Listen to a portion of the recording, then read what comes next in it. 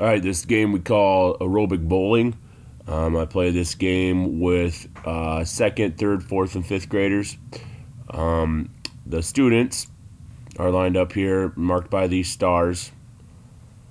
Okay, they're in relay formation. The red circles here represent the bowling ball. These white uh, triangles down here represent the bowling pins.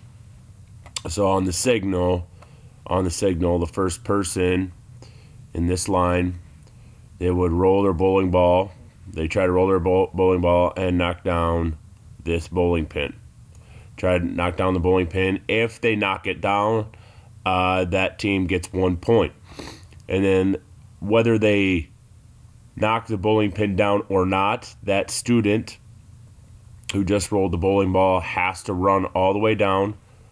Okay, for instance, this student here the student, once they roll, they have to run all the way down, obtain their bowling ball, and they must run it back to the next person in line. And the game keeps going. I and then obviously the person who just knocked down the bowling pin would have to set it back up and then they run with the bowling ball all the way back to the next person in line and then they keep going. Obviously, um, we don't use regular bowling balls. We use like a gator skin ball or something soft, so in case a student drops it, it doesn't hurt or anything like that. They must, big rule here, they must hand the bowling ball off to the next person in line. They are not allowed to throw it or anything like that. They have to hand it off and they just keep going. Then after so many minutes, two or three minutes, we count to see how many points each um, team scored. So again, I call this game aerobic bowling.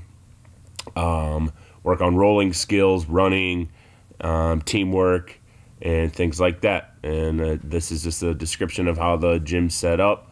So obviously, this team here we'll get this erased. So let's say get this out of here. Okay.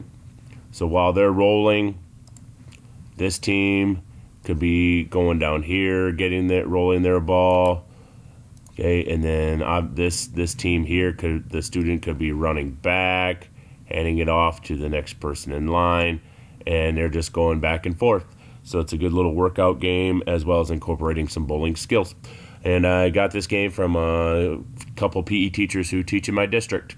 Hope you enjoy this game.